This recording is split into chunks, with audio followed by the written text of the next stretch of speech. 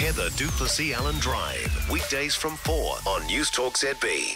You know, I am so disappointed to hear Rob Campbell finally admitting that the health system is in crisis. He said it this morning in a round of interviews. He was talking about his speech last night, which was all about him slamming the health reforms.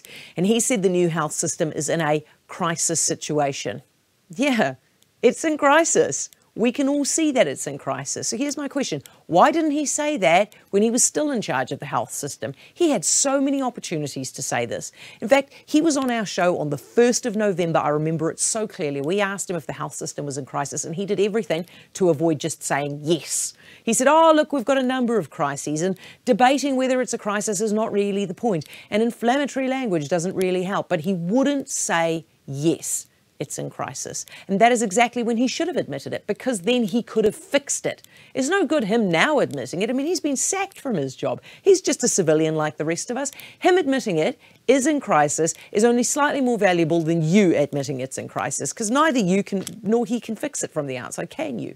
And you know, most of what he says is true from what I hear from others involved in the health system and the scrapping of the DHBs. Yep, there are people in the system who deliberately tried to slow the reform down to save their jobs. And yes, there are too many managers who are rubbish at their jobs. And yes, the reform was a half baked idea. But he should have had the courage to say this stuff before he got the sack, because then the minister would have listened to him, and then we would have listened to him, and then he could have fixed it. But now he might be right, but he might also just be bitter. Heather du Plessis-Allan Drive, weekdays from 4 on Newstalk ZB.